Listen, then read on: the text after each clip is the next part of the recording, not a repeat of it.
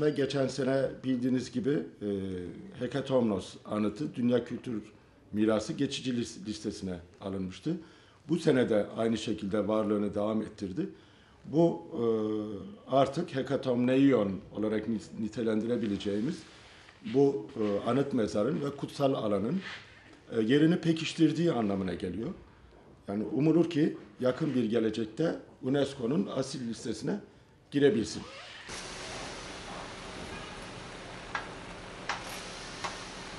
Bu e, e, anıtın e, keşfi 2010 yılında e, orada e, işte yıllardır yapılan e, bir soygunun var olduğunu e, gö- e, bildiren bir ihbarla e, başlamıştı.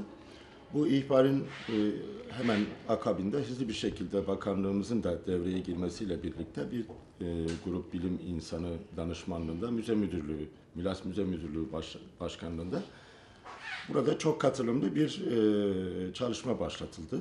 Bir e, proje başlatıldı. Öncelikli olarak mezar odasının e, temizlenmesi, tanımlanması, e, o duvar resimlerinin e, işte iklimlendirmeyle oluşacak olan e, bozulmaların önüne geçilmesi için e, hızlı bir şekilde hareket edildi.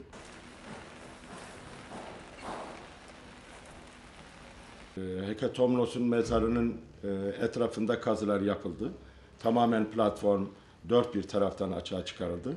Alanın diğer kısımlarında da e, kazılar yapıldı. O kazılarda da çok önemli arkeolojik kalıntılar e, gün ışığına çıkarıldı. Yapılar gün ışığına çıkar- çıkarıldı. Bunlar tabii ki değişik dönemlere ait olan yapılardı. Bunların içerisinde geç Roma dönemine ait bir villayı sayabiliriz.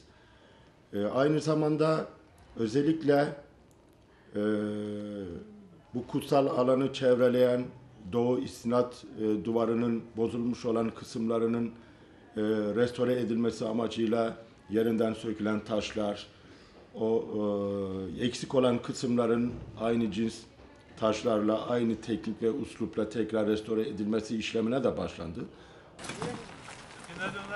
E,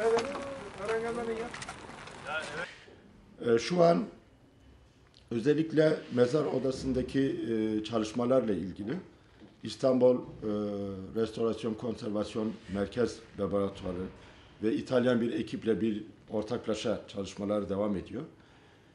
E, tabii ki bu e, çalışmalar hassas bir şekilde devam etmesi gereken çalışmalar.